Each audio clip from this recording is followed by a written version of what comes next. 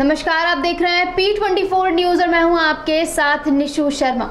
सोना में हरियाली तीज मेला को लेकर भारी उत्सुकता रहती है। वर्षों से यहाँ हरियाली तीज मेले का आयोजन होता आ रहा है। ताऊ देवीलाल स्टेडियम में लगने वाले इस मेले से प्रशासन को भी लाखों की आमदनी होती है।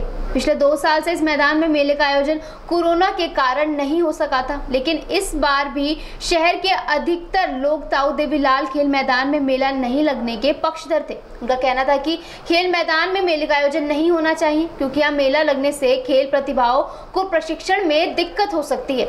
लेकिन खेल समिति ने इस बार ताऊ देवीलाल खेल मैदान में हरियाली तीज मेले के आयोजन की बोली 8 जुलाई को कर दी है। आप जानते हैं कि हम खिलाड़ियों पर इस मेले का सबसे ज़्यादा प्रभाव पड़ा है। जी। क्योंकि हम हम खिलाड़ी इसमें इस मैदान में प्रैक्टिस करते हैं और अगर इस इस ट्रैक पे अगर मेला लगेगा तो उस उसके बाद इसमें गड्ढे हो जाएँगे और आने वाले दो महीनों में बच्चों के फ़िज़िकल आने वाले हैं।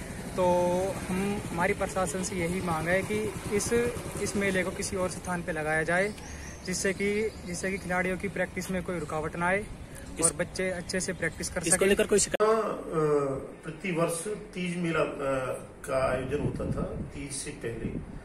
तो क्योंकि 2021 में कोरोना की गाइडलाइंस थी इंस्ट्रक्शंस थी मेला नहीं लगाया जा सकता था अब की बार मेले का आयोजन किया जा रहा है।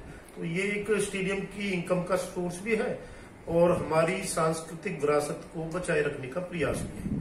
तो कल हमने मीटिंग ली थी तो 8 तारीख को मेले लगाने वाले इच्छुक व्यक्तियों को वहीं पर मौके पर बोली लगाकर मेले को आयोजन करने का उनसे फ़ीस ली गई।